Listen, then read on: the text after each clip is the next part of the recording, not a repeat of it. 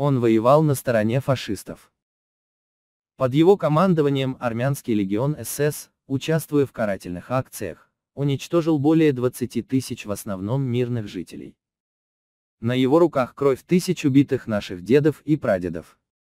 За все это Нжде был осужден советским судом и не был реабилитирован после смерти Сталина, писал Перенджиев в своей петиции.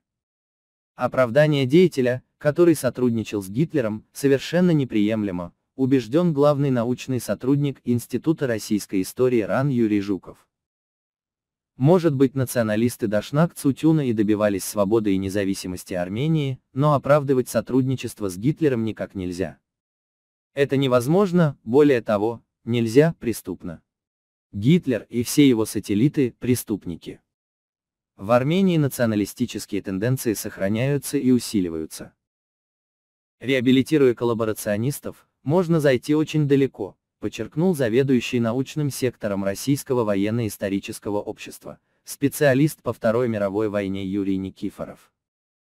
Националисты в Армении выдают сотрудничество Горигина Нжде с Гитлером, как патриотическую деятельность, ссылаясь на то, что он якобы вдохновлялся желанием благотворно повлиять на судьбу армян под властью Гитлера. Но такое восприятие – полнейшая глупость, уверен эксперт. Горигин Жде был пособником нацистов, а попытки Никола Пашиняна оправдать его деятельность вызывают лишь сожаление, отметил главный редактор журнала «Национальная оборона» Игорь Короченко.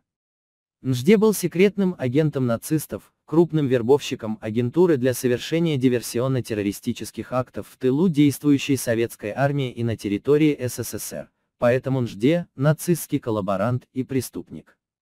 А то, что нынешний лидер Армении покрывает его, вызывает только сожаление и вопросы, так ли хорошо господин Пашинян знает историю.